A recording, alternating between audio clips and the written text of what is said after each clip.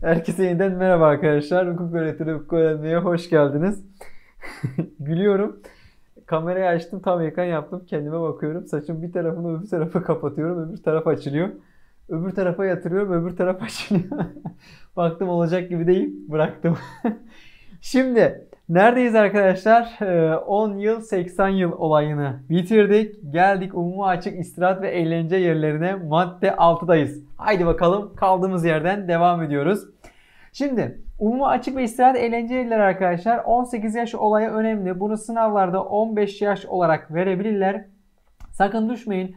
Bununla ilgili bir soru geldiğinde muhtemelen şöyle gelecektir. Eğlence ve oyun, içki ve benzer amaçlara umuma açık ve açılmasına izne bağlı olan yerlerde 18 yaşından küçükler çalıştırılamaz. 18 yaşından küçüklerin girmesi yasaktır ve men edilirler. İşte bunu yaş olarak size sorabilirler. Şıklara muhtemelen hatta %100 15'i koyacaklardır ve birçok arkadaş 15'e düşecektir. Hayır cevabımız arkadaşlar 18 olacaktır. Şimdi devam ediyorum. Bununla ilgili izin olayları da önemli. Karşımıza soru olarak bu izinlerle ilgili ben soru şahsen bekliyorum. Çok güzel kaliteli soru olur. Çünkü bu tarz iş yerlerinin açılırken kolluk görevlilerinden ne alınıyor arkadaşlar? Görüş alınıyor. Denetimini çünkü bu yerlerin denetimini kolluk görevlisi yapıyor. Mülki idare amirinin men, etki, men yetkisi var. Ruhsatı veren belediye. Birçok ayrıntılar var. Bu videoda bu ayrıntıları oturtturabilirsek ne ala. Hadi bakalım devam ediyoruz. Bu maddede öngörülen idari para cezaları belediye sınırları içerisinde ise hop idari hukukunda ben bunu sana anlattım. Dedim ki belediye sınırları içerisinde ceza verme olayını kim yapıyordu? Belediye encümeni. Ama belediye sınırlarının dışındaysa dışındaysa bu para cezası olayı artık kimde arkadaşlar? İl encümeninde diyoruz. Tamam. Tekrarla, tekrarla, tekrarla. Belediye sınırları, belediye sınırları, belediye encümeni. İl sınır, belediye sınırlarının dışındaysa nereye götürüyoruz arkadaşlar topu? İl encümenine götürüyoruz diyorum. Hocam il encümeni ne? Belediye encümeni ne? Sakın bu cümleyi kurma bana. Bak sakın kurma acayip sinirlenirim. Çünkü biz bunu idari teşkilat yapısı içerisinde anlattık. Mahalli idareleri getir gözünün önüne. Mahalli idareleri 3'e ayırdık. İl özel idaresi, belediye. Sonra nereye gittik? Muhtarlıklara, köy muhtarı. Değil mi? Hatırlıyorsun. İl özel idaresine ne dedik? İl genel meclisi dedik. İl genel meclisinin başkanı kimdi? Vali mi? Hayır. Kendi üyeleri arasından seçilirdi. Sonra kim dedik? İl encümeni. Bak il encümeni. Belediye sınırlarının dışında cezayı yazan. En temel görevi de bu zaten. Ceza yazmak. Peki sonra il encümeni vali. Bunu nereye sıraladık? İl özel idaresinin altına. Peki gel belediyenin altına ne sıraladık? Belediye başkanı, belediye encümeni, belediye meclisi. Belediye meclisinin başı kim? Söyle. Belediye başkanı. Belediye encümeninin başı kim? Belediye başkanı. Hatırladın değil mi? İşte bu belediye encümeni belediye sınırları içerisindeki ceza yazma olaylarını yapan yetkili makam. Bu teşkilat yapısı idare hukukunda fix sorudur. Unutmayın. Haydi bakalım devam edelim. Şimdi bunları benden izleyenler biliyoruz hocam. Evet biliyoruz. İzlemeyenler Allah o konularda eksik. Nerede? Nerede dedin hocam? Nerede? YouTube. Hukuk öğretirde. İdare hukuku videoların içerisinde idari teşkilat yapısının o şekil şemayı mutlaka bil. Devam ediyorum. Devam ediyorum. Cezalara karşı tebliğ tarihine itibaren en geç 7 gün, 7 gün içerisinde idare mahkemesine itiraz ettin. Hop gitti 7 gün içerisinde idare mahkemesine. İdarece verilen cezanın yerine getirilmesini durdurmuyor senin bu itirazın.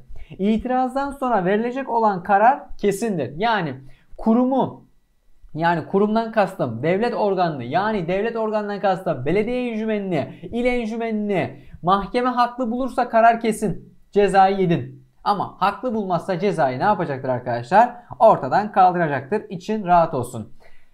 Peki devam edelim. İtiraz zaruret görülmeyen hallerde evrak üzerinden yani dosya üzerinden inceleniyor. Sonra da arkadaşlar bu paranın tahsili 6183 amme alacakları tahsil husus kanun, kanununa göre yapılacaktır. Peki hocam bunun tekrarı bakımından olursa ne olur? Bir kat arttırılarak uygulanır. Umuma açık istirahat ve eğlence yerleri. Hocam ne kadar hızlı gidiyorsun ya. Tüm mevzuatı böyle bitirsek değil mi? Şimdi arkadaşlar umuma açık istirahat ve eğlence yerleri nerelerdir? Arkadaşlar sinema, kahvehane, kıraathane, gazino, pavyon vesaire vesaire böyle saymış kanunlar. İnternet kafeler, benzeri yerler. Bir de şöyle bir vurgu yapıyor arkadaşlar. Eğer diyor ki sabit veya seyyar halinde kara, deniz, hava aklınıza hemen şey gelsin. Bu İstanbul Boğazı'nda öyle bir düğüne katılmıştım. Ee, pandemiden önceydi. Şimdi pandemide o daha da sıklaştı. Ee, İstanbul'da görev yapan arkadaşlar e, çok görüyordur mu- muhtemelen. E, ben bir defa katıldım. Onlar yüzlerce defa görmüştür. Cümlede kurabilsem. Bu e, ne, ne diyorlar? Yatlarda, e, vapurlarda falan artık düğün yapmaya başladılar ya. Orada umuma açık ve istirahat eğlence yeri olarak kabul edilmektedir. Peki soru beklediğiniz yer neresi hocam? Şurası. Bak bak bura çok önemli. Bak bura çok önemli. Neden? Buradan soru gelecek. Bağlı oldukları yani umuma açık istirahat ve eğlence yerlerinin ruhsatı. Şimdi bunlara ruhsat vermemiz lazım. Tamam mı? İşte bu ruhsatı verirken belli aşamalardan geçilmesi gerekiyor. Bağlı oldukları kolluk kuvvetinin görüşü alındıktan sonra yani e, neresi diyelim Adana üzerinden gidelim. Adana'da bir e, Adana'nın Ceyhan ilçesinde bir eğlence merkezi açılacaksa e, bir gazino, pavyon açılacaksa zaten çok rekabet edemez yeni açılan. Şimdi açılacaksa bağlı oldukları kolluk kuvvetinin görüşü alınıyor. Bir. Birinci aşama ne abi? Görüşü aldık. Şimdi görüş alındı. Peki devam ediyorum. Belediye ve mücavir alan sınırları içerisinde bu yetki kimde? Belediyede. Yani belediyenin sınırları içerisinde bu yetki belediyede. Belediyenin sınırları dışarısında ise arkadaşlar İl Düzey İdaresi tarafından bu ruhsat verilme olayı yapılacaktır. Peki devam ediyorum. Kolluk kuvvetinin görüşü 7 gün içerisinde verir. Ruhsat talepleri 1 ay içerisinde sonuçlandırılır. İzin alınmadan açılan umuma açık istirahat yerleri kapatılır. Görüş nereden geldi? Kolluktan geldi. Kolluk kuvvetinden. Belediye sınırları içerisinde yetki kimde? Belediyede. Belediye sınırlarının dışında yetki kimde arkadaşlar? İl Özel İdaresi'nde. Biraz önceki anlattığım yerde ne vardı? Burada ceza yazma olayları vardı. Ceza yazmayı belediye sınırları içerisinde belediye encümeni, belediye sınırlarının dışarısında nereye gidiyorduk arkadaşlar? İl encümenine gidiyoruz. Kolluk kuvveti görüşünü ne kadar sürede verecek? 7, 7, 7. Yani kolluk e, kolluk kuvveti, kolluk görevlileri, kolluk makamı ne yapıyor? Diyor ki ey umuma açık eğlence yeri yemedi. Yemedi. Tamam beni kandıramazsın yemedi. Ne kadar sürede veriyormuş? 7 günde. Ruhsat talepleri 1 ay içerisinde sonuçlandırılır. Bu iş yeri faaliyetinin göstereceği alanları belirlemeye ve mevcut mevcut umuma açık istirahat ve eğlence yerlerinin bu amaç içinde ayrılan yerlerde toplanmasına belediye ve mücavir alan sınırları içerisinde belediyede yetki, yetki belediyede, bu alanlar dışında ise il özel idaresi yetkilidir diyoruz. Şimdi geldik. Umuma açık istirahat ve eğlence yerlerinin bulunacağı alanların tespiti, bu yerlerin ruhsatlandırılması ve uygulanacak usul ve esaslar dikkat İçişleri Bakanlığı'nca çıkartılacak yönetmelikle belirleniyor. Şimdi ben burada ne dedim? Bak nerede? Bir dakika şöyle yapıyorum. Ben burada ne dedim? İçişleri Bakanlığı tarafından çıkartılacak yönetmelik dedim değil mi? Görüyorsun bak burada dedim. Peki bir yerden görüş alıyor mu? Bir yerden görüş alıyor mu? Almıyor. Peki bir yerde yine yönetmelik çıkartıyordu İçişleri Bakanlığı ama birinden görüş alıyordu. Neredeydi o? Neredeydi? Neredeydi? Parmak izi fotoğraf alma durumundaki usullerin, esasların e, uygulanmasında yönetmelik düzenliyordu. Yönetmeliği çıkartan İçişleri Bakanlığı'ydı. İçişleri Bakanlığı nereden görüş alıyordu? Adalet Bakanlığı'ndan görüş alıyordu. Burada görüş alma olayı var mı? Yok. Direkt yönetmeliği İçişleri Bakanlığı kendisi çıkartıyor. Bu iş yerleri için düzenlenen iş yeri açma ve çalışma ruhsatının bir örneği yetkili kolluk kuvvetlerine bırakılır, verilir. Bu iş yeri genel güvenlik ve asayiş yönünden genel kolluk tarafından denetlenir diyoruz. Şimdi arkadaşlar geldik. Diyoruz ki umum açık yerlerin usulsüzlük durumları. Ya usulsüzlükten kastınız ne hocam? Buradan herhangi bir soru geleceğini düşünmüyorum ama okumakta fayda var. Bunu siz okuyacaksınız. Okumayacağım. Yani ne? Mevzuata aykırı olarak işleniyor, kumar oynatılıyor, fuhuş yapılıyor vesaire vesaire bir dünya uyuşturucu madde imal ediliyor, kullanılıyor, satılıyor gibi gibi sebeplerden dolayı burayı ne yapacağım?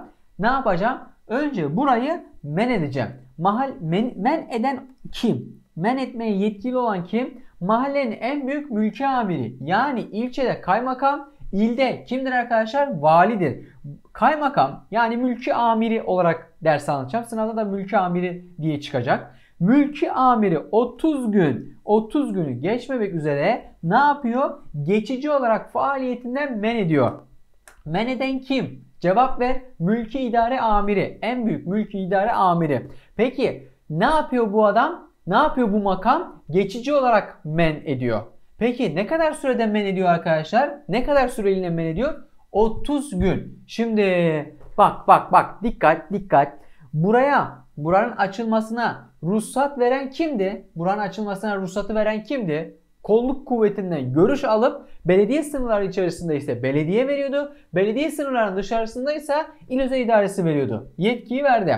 Ne verdi? Ruhsatı verdi. Yani açabilirsin dedi. Peki burada bir sıkıntı yok. Ya bu faaliyetinin dışında bir e, faaliyetinin dış, dışında işlere karıştıysa burayı geçici olarak men eden kim? Bak mülki idare amiri. Mülki idare amiri daha hiç karşımıza çıkmamıştı. İlk defa burada çıktı. Burada da adam men etti mi? Men etti. Nasıl men etti? Geçici men etti. Ne kadar süreliğine men etti? 30 gün. Peki devam ediyorum. Bu maddede yazılı fiillerin sebebiyle bir yılda 3 defa. Aa bak bir yılda 3 defa. Bir yılda 3 defa men edilen işyerleri bu fiillerin tekrar edildiği takdirde iş yeri açma ruhsatları mahalle mahallenin en büyük mülki amirinin bildirimi üzerine kardeşim bıktık ya bıktık men ediyorum men ediyorum bunlara akıllanmıyor. Bir yılda 3 defa men etmişim ya 30 gün 30 gün 30 gün yeter yeter ya diyor mülki amiri bildiriyor. Kime bildiriyor? Bak dikkat kime bildiriyor? Bu ruhsatı verene bildiriyor. Bak ruhsatı verdin ben de seni geçici men ediyor. Men ettim bak ruhsat verdiğin yeri geçici men ettim. Sen ruhsatı verdin. O zaman ne yapıyorsun? Artık şu ruhsatı iptal et. Belediyeye sınırları dışındaysa arkadaşlar nereye? İl idaresine bildiriyor. Bu durumda 5 iş günü içinde iptal edilir diyoruz. Dikkat. Şimdi bak bak bak burayı. Burada kolluk kuvveti görüşünü ne kadar sürede veriyordu? 7 gün içerisinde. İş günü falan diyorduk mu? Yok. Bir ay içerisinde ruhsat talepleri yerine getirilir mi? Getirilir. Bak buraya gel. Kaç gün men ediyor? 30 gün. Bir yılda 3 defa yapınca nereye bildiriyor mülki idare amiri? Nereye? Ruhsatı verene bildiriyor. Sen verdin ruhsatı iptal et diyor. O bildiriyi aldı mı? Aldı. Sonra ne yapıyor? İptal ediyor. Ne kadar süre içerisinde iptal edecek arkadaşlar? 5 iş günü içerisinde iptal edecek. İşte burada da bunun özetini yaptım. Hızlıca bir bakmakta fayda var. Mülki iddianamenin geçici men yetkisi bulunurken ruhsatı iptal yetkisi bulunmamaktadır. Bak zaten polis mevzuat konu anlatımı kitabının kendine özgü has bir dili var. Bireysel çalışmaya açık. Zaten çalışıyorsunuz. Tamam mı? Kısa sürede de ciddi bir yoğun talep oluşmasının sebebi de bu. Mevzuat değil olayın. Olayın temel mantığı elbette ki mevzuat kitabı olduğundan dolayı içinde mevzuatlar olacak. Tamam. Elbette ki olacak. Ama e, kitap seninle konuşuyor. Olayı sana özetliyor. Görmen gereken yerlere kutulukçuklara koyuyor. Puntoları büyütüyor. Renkli bir şeyler yapıyor. Tamam. Kitap çok önemli. Dikkat. Devam ediyor. Bak ne yapıyor? Özetliyoruz olayı. Mülki idare amirinin e, geçici men, etki, men yetkisi bulunurken ruhsatı iptal etme yetkisi bulunmamaktadır. Mülki idare amiri 30 gün men eder. Sonra 1 yıl, için, 1 yıl içinde 3 defa daha bu fiiller gerçekleşirse talep yetkisi doğuyor. Bak yine men, e, ruhsatı iptal etme yetkisi doğmuyor. Talep yetkisi doğuyor. Belediye ve müşavirse sınırlar içerisinde ise belediyeye, bu alanlar dışında ise il özel idaresine bildiriyor. Kapatın ya şurayı bıktık diyor. Bak. Gördün mü? Aynen yazmışım böyle. Tamam bıktık diyor bıktık. İş yeri açma ve çalışma ruhsatı 5 gün içerisinde iptal edilir. Şimdi ana ana e, şeyin kayışın koptuğu yer burası. Ruhsatı veren de iptal eden de aynı yetkili makamsa biz buna idare hukukunda gördük. Ne diyoruz arkadaşlar? Yetkide paralellik ilkesi diyoruz. İşte bu cümleler, bu vurgular mevzuatta olmaz. Ama hukuk öğretir mevzuat kitabında olur. Şimdi kitabın da reklamını yaptıysak kaldığımız yerden devam ediyoruz. Peki buraya kadar önlem araması. Şimdi arkadaşlar buradan e, hukuk fakültelerinde hocaların sevdiği noktalardan biridir. Önlem arasında soru yaparlar. Polis vazife serayet kanununda da bu kısım madde 9'da düzenleniyor önleme araması. CMK'da da düzenleniyor önleme araması. CMK'da ben bunu detaylı bir şekilde anlattım. Soru çözüm videosunda tekrarladım. Orada da anlattım. İlgili soruları da çözdüm. Tamam mı? Burada PVSK ile ilgili kalan kapsamda anlatacağım. Anlatacağım ve vurgu yapacağım yer 2-3 yer. Onları yakalarsan sınavda da herhangi bir problem yaşamazsın. 15 dakika olmuş. Şimdi önlem araması polisin tehlikeyi ve suç işlenmesinin önlenmesi amacıyla usulü önlenmesi amacıyla usulüne göre verilmiş bir olan bir yetkilidir. Yetkidir. Yani buradaki amaç şu arkadaşlar önlüyor. Önlüyor. Yani idari kolluk görevini yapıyor. Suç işlenmesinden önceki faaliyetleri yapıyor. Tamam mı? Suç ceza hakiminin kararıyla bu sebebe bağlı olarak gecikmesine sakınca bulunan hallerde mülki aminin vereceği yazılı emirle bunu yerine getiriyor. Üstlerinin, araçlarının, özel kağıtlarının eşyaları aranır, alınması gereken tedbirler alınır. Bu ayrıca ceza muhakemesi kanunları hükümlerine göre de gerekli işlemler yapılır. Yani sen bir vatandaş olarak bir uygulama noktasına girdiğinde bu uygulama noktasındaki uygulama noktasındaki yapılan aramanın, araçların aranmasının, araçların durdurulmasının hepsinin arkadaşlar önleme araması kapsamında yapıldığını, PVSK madde 9'a göre yapıldığını ve suç ceza hakiminin, suç ceza hakiminin kararıyla yapıldığı belgesi o uygulama noktalarında bulunması gerekir. Peki buraya da değindik. Geçtim. Yani o o belgeyi e, avukatlar girdiklerinde isterler. Muhtemelen isterler. Dikkatli. Şimdi arkadaşlar o belgenin tarihi, e, uygulanan önlem aramasının yapılacağı süreleri vesaire belirtilir. Peki arkadaşlar arama kararı veya emrinde aramanın sebebi, arabanın aramanın konusu ve kapsamı, aramanın yapılacağı yerler, aramanın yapılacağı zaman ve geçerli olacağı süreler belirtilir. Dikkat et dikkat bak neler belirtiliyormuş. Niye buna vurgu yapıyorum? Bura bir soru olma ihtimali yüksek. Soru olma ihtimali yüksek. Niye yüksek? Aramanın sebebi belirtiliyor. Aramanın konusu ve kapsamı belirtiliyor. Aranacak yer belirtiliyor. Aramanın yapılacağı zaman ve geçerli olacağı sürede belirtiliyor. Ama aramayı X Ahmet yapacaktır, Mehmet yapacaktır, Hasan yapacaktır, Hüseyin yapacaktır diye aramayı yapacak kolluk görevlisinin sicilleri, isimleri tek tek yazması şart değildir. Tamam? Suç ceza hakimin işi yok da o anda o gün görevli olan polislerin adını mı yazacak? Tamam. Yani arama kararında bu isimler yer almıyor. Sınavda ne yapacak? Arama yapacak personelin de kimlik bilgileri bulunmalıdır der. Bakın A, B, C, D, D, E yapar. E'ye de yazar bunu. Arama yapacak olan kolluk görevlilerinin kimlik bilgileri veya sicilleri vesaire bulunmalıdır der. Soruda 10 numara bir soru olur. Cevabımız Edirne olur geçer. Onların bulunması şart değil. Sebebi, konusu, kapsamı, yapılacak yer, e, süre bunlar bulunacak. Zaman ve süre bulunacak. Ama aramayı yapacak kolluk makamı bulunmasa da e, bulunması şart değildir. Önleme aramasının aşağıdaki yerlerde yapılabilir. İşte bize sınavda hukuk fakültesinde ceza muhakemesi dersinde bundan bundan 3. sınıf dersi miydi? 4. sınıf dersi miydi hatırlamıyorum. Ama buradan soru sürekli hoca yapardı, severdi burayı. Aynı şıklara bunları koyardı. Der ki önleme araması aşağıdaki yerlerin hangisinde yapılamaz derdi. 4 tane yapılabilir koyardı. Bir tane yapılamaz koyardı. Cevabımız da o olurdu. Şimdi arkadaşlar toplantı ve gösteri yürüyüşlerinin kanun, kanun kapsamına giren toplantı ve gösteri yürüyüşlerinin yapıldığı yerde ve yakın çevresinde önleme araması yapılacaktır. Yapılabilir. Yapılacaktır ifadesi yanlış oldu. Zorundalıkmış gibi ifade oldu. Yapılabilir. Tamam. Bu kelimeler çok önemli. Adli hakimlikte çok soruyorlar. Ee, sınavlarda e, yapılabilir ifadeyi yapılır derse ifade yanlış oluyor yapılır ifadesi zorunlu tutuyor. Yapılabilir ifadesi yapmaya da bilirsine de gidiyor. Anlatabildim mi? Çok ince bir detaydır. Özellikle adli hakimlik sınavında sürekli sorarlar. Şimdi arkadaşlar toplantı ve gösteri yürüyüşleri kanun kapsamında yine toplantı ve gö gösteri yürüyüşü yapıldığı yerlerde ve yakın çevresinde yapılabilir. Özel hukuk, tüzel kişileri ve kamu kurum kurum niteliğindeki meslek kuruluşların, sendikaların genel kurul toplantıları, özellikle sendika genel kurul toplantıları, aklına kazı, önleme araması, Halkın topluca bulunduğu yerlerde ve toplanabileceği yerlerde önleme araması yapılır. Buraya kalsın şimdi atlıyorum. Umuma ve e, umumi ve umuma açık yerlerde her türlü toplu taşıma araçları ve seyreden taşıtlarda taşıtlarda konut burada yapılabilir. Dikkat. Konutta, yerleşim yerinde veya da kamuya açık olmayan iş yerleri ve eklentilerinde önleme araması yapılamaz. Size sınavda şöyle yapacaklar. Dikkat. Buradan buradan 4 tane şık verecekler. Buradan 4 tane şık verecekler. Şıkkın birine de E diyecekler.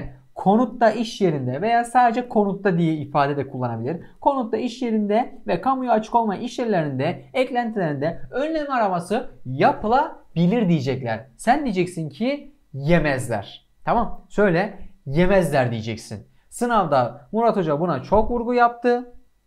Çok vurgu yaptı. Buradan soru gelecek dedi ve geldi. Unutma önlem araması arkadaşlar suç ceza hakimliğince veriliyor. Gecikmesine sakınca bulunan hallerde, gecikmesine sakınca bulunan hallerde mülkü amirince de yazılı olarak da bu emir verilebiliyor. Arama kararı ve emrinde olması gerekenler, önleme araması yapılabilecek yerler, yapılamayacak yerler bunlara özellikle ve özellikle dikkat edin. Şimdi tabii ki unutmadım. Şimdi hocam buraya atladın. Neden atladın? Gel. Bak dikkat boyacım. Eğitim ve öğretim özgürlüğünün sağlanması için her derecede eğitim ve öğretim kurumlarının idarelerince talebiyle 20. maddenin 2. fıkrasının A bendindeki koşula uygun olarak girilecek yüksek öğretim kurumlarının içinde bunlara yakın çevrelerinde giriş ve çıkışlarında önlem araması yapılabilir. Şimdi bu madde nerede? Hemen bakalım. Bu madde nerede? Bu maddeye gelince de buraya atlayacağım arkadaşlar. Haberiniz olsun. Silah kullanma. Anlatacak bayağı yerimiz var bu arada. Emre itaatsizlik, yardım ve talepte bulma. Dikkat! Diyor ki üniversite binaları, ekleri, kurum ve imkanların önleme imkanı bulunmaması durumunda bulunmaması durumunda olayların çıkma ihtimali karşısında rektör, acele hallerde dekan veya da bağlı kuruluş ve yetkileri kendileri bu e, olayları önleyemiyorsa ne yapıyor? Kolluk kuvvetinden yardım istiyor. Herhangi bir davet veya izne bağlı olmaksızın suç ve suçların kovuşturması için her zaman A bendinde gösterilen hallerde talep derhal yerine getirilir diyoruz. Tamam. Burada rektör talep ediyor. Gecikmesine sakınca bulunan hallerde dekan talep ediyor. Üniversiteye girişlerde. Kaydıramadım. Yukarıya doğru. Neredeyiz? Şimdi tekrar geldik. Geldik buraya arkadaşlar. Diyoruz ki spor karşılaşması, miting, konser, festival, toplantı ve gösteri yürüyüşün düzenlendiği veya da aniden toplulukların oluştuğu hallerde gecikme sakınca bulunan hal, hal sayılır ve burada da önleme araması yapılacaktır diyoruz. Geldik arkadaşlar şikayet olmasa bile engelleme yetkisine. Genel ahlak ve edep kurallarına aykırı olarak utanç verici, toplum düzenini bozucu, tasvip edilmeyen tavır ve davranışlarda bu nitelik söz, şarkı, müzik ve benzeri gösteri yapanlarda, çocuk, kız, kadın gibi maddelerle ahlaksız yönetilen teşvik edenlerde vesaire gibi madde sıralamış arkadaşlar. Genel ahlak ve edebe aykırı mahiyette her türlü sesli ve görüntülü eserlerin kaydedildiği materyale bakılmaksızın üreten veya satanlarda herhangi bir müracaat ve şikayet olmasa bile engelleme yetkisi vardır kolluk görevlisinin. 18 yaş kuralı bunu biraz önce söyledim arkadaşlar. Kanuni istisna saklı kalmak kaydıyla eğlence, oyun, içki ve benzeri amaçlarla umuma açık ve açılmasına izni, izne bağlı yerlerde 18 yaş altı çalıştırılamaz. Bunların girmesi yasaktır. Men edilir. Yaşa dikkat et dedik. Burayı da geçtik. Yakalama ve salahiyet yetkisi yani e, polisin yakalama yetkisinden bahsedeceğiz. Madde 13'te. Sayfa kaça geldik? Sayfa kaça? 44'e geldik. 10 sayfalık bir yer kalmış. 24 dakikadır beni çekiyorsunuz. Kendine iyi bak. Hoş ol, hoşça kal. Bir sonraki videoda görüşmek üzere. Her neredeysen sana selam olsun. sınavında başarılar diliyorum. Yakalama yetkisinden bahsedeceğiz. Madde 3. Haydi bakalım. Güzel bir kanunu geride bırakıyoruz. Day day day day day day day day day day day day day